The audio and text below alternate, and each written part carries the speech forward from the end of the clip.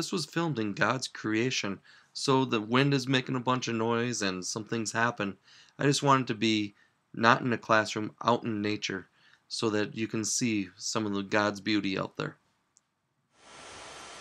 Welcome to TeacherTrent.com. What we're going to be learning about today is why do atoms bond?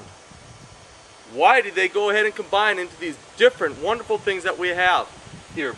Like this beautiful uh, pine wood here, this dry erase board, this wonderful sand that we have here on this wonderful, a wonderful beach.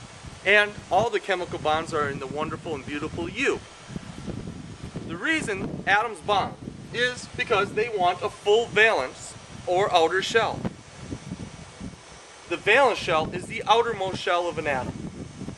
Typically, an atom is classified as being full if you have eight electrons on the outer shell. Eight electrons comes down to we calling it the octet rule. Oct meaning eight. Eight electrons on the outermost shell. There is an exception though. The exception is this. You can only have two electrons with only one shell. It's full, an atom's full with just two electrons if you only have one shell. That's the exception. If you have two shells, it's full with eight electrons. If you have three shells, it's full with eight electrons. If you have four shells, it's full with eight electrons. You have five shells, how many electrons does it take to make it full? You're correct. It would take a total of eight. It would take a total of eight. And the same for six shells is full with eight, seven shells is full with eight. So atoms bond because they want a full valence shell. Atoms bond because they want a full valence shell, a full outermost shell. Thank you very much. There are three main types of chemical bonds. They are ionic bonds, covalent bonds, and metallic bonds. Ionic bonds lose or receive their electrons. Covalent bonds share their electrons, and metallic bonds have free moving electrons.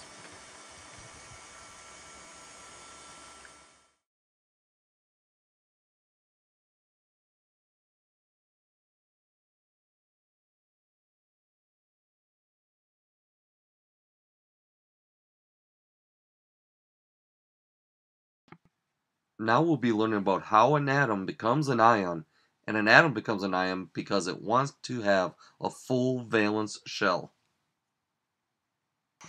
Atoms on the left side of the periodic table lose their electrons to become an ion. Atoms on the right side receive electrons. Please repeat after me. Left loses electrons and an energy shell.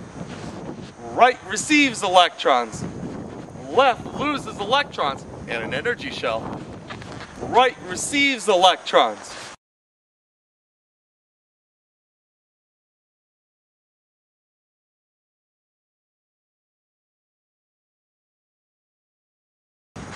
Left loses electrons and an energy shell.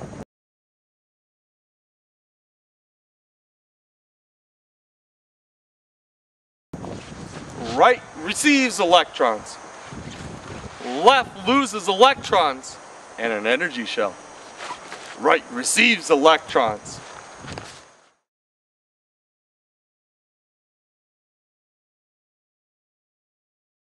Now, let's, now we're starting the ionic bond section. So, Na is going to be losing its electron and outer shell. Out, the electrons on the outer shell. Atoms on the left-hand side of the periodic table lose electrons. The sodium atom loses its one electron and also the outer energy shell. So we are left with eight electrons on what, what used to be the second shell and now has become the outer shell because every atom wants a full outer shell. Left loses electrons and an energy shell. So now we still have 11 protons, but the number of electrons that we have now is a total of 10 electrons. 1, 2, 3, 4, 5, 6, 7, 8, 9, 10 electrons. So this is going to change our overall charge. Negative 10 electrons. So negative 10 plus positive 11 equals a positive 1 net charge. I still can't believe that periodic table blew away. All right, so that's our first sodium atom. Change it into an ion, so it's no longer an atom. It is now an ion. All right, for the fluorine atom, it's on the right-hand side, so it receives electrons. Fluorine here on the right-hand side of the periodic table. So we're going to change this from the atom into an ion. So, in order, and remember, right receives electrons. So we're going to add one more electron on the outer shell. Then it's going to have eight electrons on the outer shell, fulfilling the octet rule. How many arms or tentacles does an octopus have? Eight. Octet rule. Octopus, eight. Octet rule, eight electrons on the outermost shell. So, that's of course except for if you just have one energy shell. Then it's full with two. All the other outer shells are full with eight. So, now we have, our protons have not changed. Our protons are the same. We still have nine protons, we still have nine protons here. So now we have 10 electrons. 1, 2, 3, 4, 5, 6, 7, 8, 9, 10 electrons. So now we're going to change this to negative 10 electrons. So negative 10 plus positive 9, negative 10 plus positive 9 equals a negative 1 net charge. Negative 1 net charge. Now this is no long this is no longer an atom. You have to change this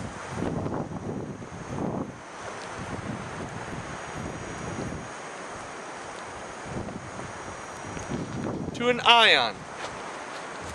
We're gonna go. All right, let's talk about the sulfur atom and making it into an ion.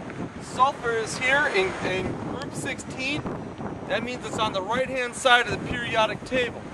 So please remember, right receives electrons. And every atom wants a full outer shell or a full valence shell. Valence shell is called the outer shell and it wants to have eight electrons. Typically it wants to have eight electrons on the outer shell. So if you have two energy shells, the outer shell is going to have eight electrons. If you have three energy shells, the outer shell is going to have eight electrons. If you have four energy shells, the outer shell is going to have eight electrons. Five, six, seven, and uh, groups, periods five, six, and seven will also have eight electrons on their outer shell. This one has three circles or three shells, so the third shell wants to have eight electrons on its outer shell. Right now we only have six, so we're going to add two more. That will give us a total of 18 electrons. We just added two more electrons, so we know that's going to be 18. We can double check our, our, our numbers. 1, 2, 3, 4, 5, 6, 7, 8, 9, 10, 11, 12, 13, 14, 15, 16, 17, and 18. Well, negative 18 plus positive 16 equals a negative 2 net charge. So the sulfur ion will typically have a negative 2 net charge. Right receives electrons. Thank you. We will have more ions after the scriptural reading.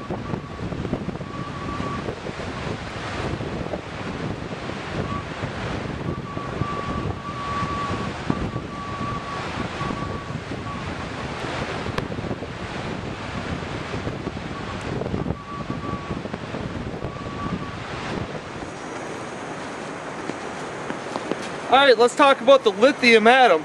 Please remember that the lithium uh, is on the left-hand side of the periodic table. Left loses electrons in an energy shell. Left loses electrons in an energy shell.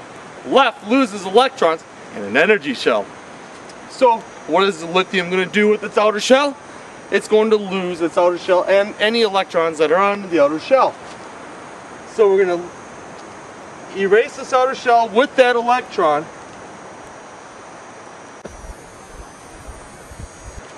And we have just one energy shell with two electrons on it. When you just have one energy shell, it's full with just two electrons.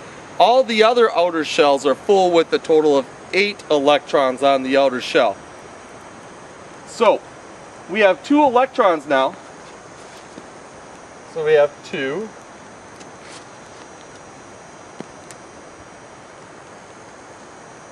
Electrons.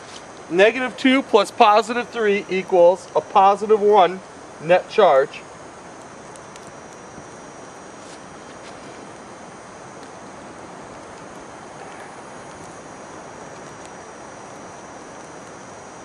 And it's no longer an atom, it becomes an ion. All right, the mag magnesium atom, we're going to make it into an ion. So magnesium is here in uh, group 2. So as we already know, our general rule is left loses electrons in an energy shell. So magnesium is going to lose this outer shell and the electrons that are on it.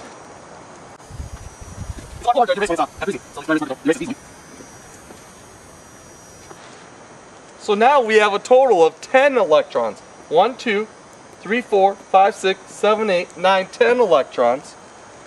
So we're going to change that to 10 electrons. And then negative 10 plus positive 12 equals a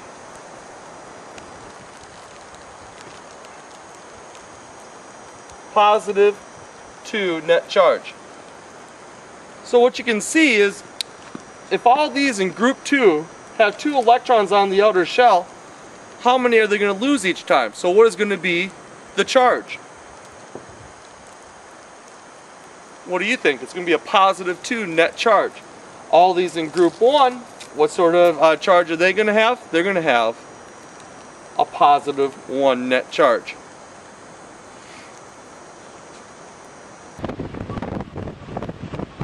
Heavenly Father, thank you that by the grace of Jesus we can have a conversation with you. We praise you, and Lord, we ask that you please help us with understanding how to make ion Bohr models and with all every aspect of our life. Jesus' name.